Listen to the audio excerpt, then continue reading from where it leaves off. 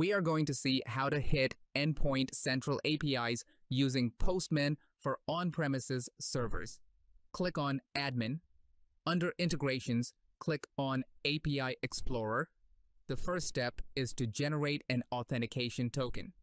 Click on Authentication and then Login. Under the Choose Authentication dropdown, select Local Authentication.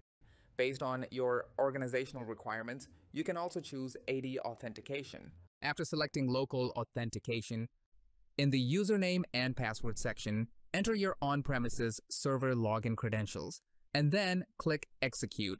You'll receive a response on the right, scroll to the bottom of the response. Under Auth Data, the value for the auth token key is the authentication key. Copy and store this key. Or if you have enabled two-factor authentication, after selecting the mode of authentication and entering your login credentials, click on Execute and wait for some time. The OTP will be sent to your email if you have opted for email as the mode of authentication or to the Authenticator app if you have chosen Authenticator app as the mode of authentication. Enter the OTP that you have received and then click on Execute. The authentication key will be generated only after this two-factor authentication. It can be used to hit any API in the API Explorer page. Now, we'll use this key for authorization in Postman. The second step is to call the desired API. Now, let me go to the API that I want to call using the Postman.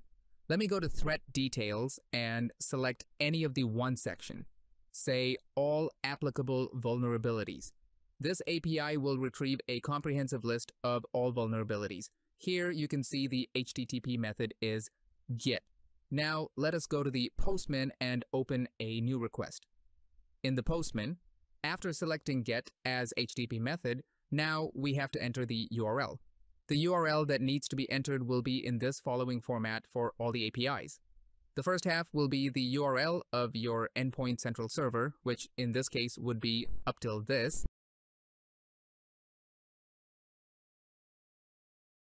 The rest of the URL would be the API URL mentioned in that API page. Copy and paste both in the Postman. And then for authorization, go to headers. Under key, select authorization and under value, paste the authentication key that we have copied earlier and then click on send. In the response, now you can see the desired, which in our example would be a comprehensive list of all vulnerabilities. You can also filter the response generated according to some parameters. You can see the filter section in the API page for what parameters that could be filtered. In our scenario, let us take vulnerability ID. This vulnerability ID, which is in numerical form, is unique to a particular vulnerability. So using vulnerability ID, you can filter vulnerabilities based on what provided.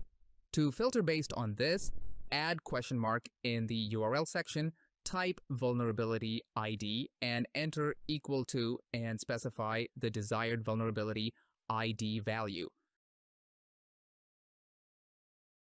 And then click on send again. Now you can see the filtered response as per your choice. Let us take another example for filtering the vulnerability based on patch availability. To add more criteria, you can enter and specify the next filter, which in our case would be patch availability. And like this, you can have the filtered response based on patch availability too. Filtering API requests helps in refining and narrowing down the data retrieved from a server.